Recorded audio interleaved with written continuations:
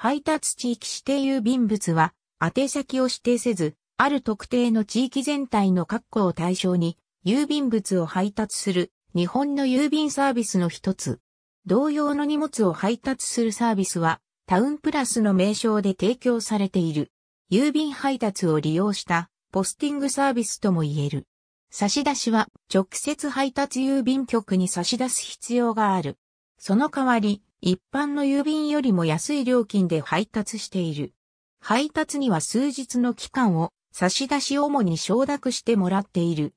クリスマスカードや年賀状、血礼はがきの処理が多い12月15日から翌年1月14日の間は取り扱いができない。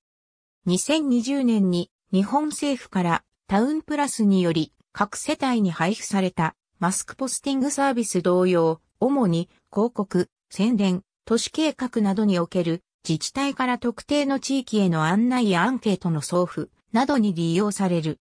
大規模なものとしては、事項で述べる大規模なリコール発表から期間の経過した対象製品の一般への再告知に使われる場合がある。松下電機産業が石油温風機の回収告知のために新聞への折り込みチラシとともにこのサービスを利用して全国各家庭、各事業所にハガキを配達した。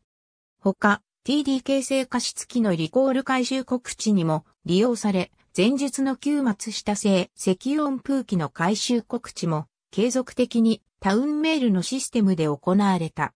タウンプラスは2020年4月以降の日本政府から布製マスク2枚の全世帯への発送に使われた。ありがとうございます。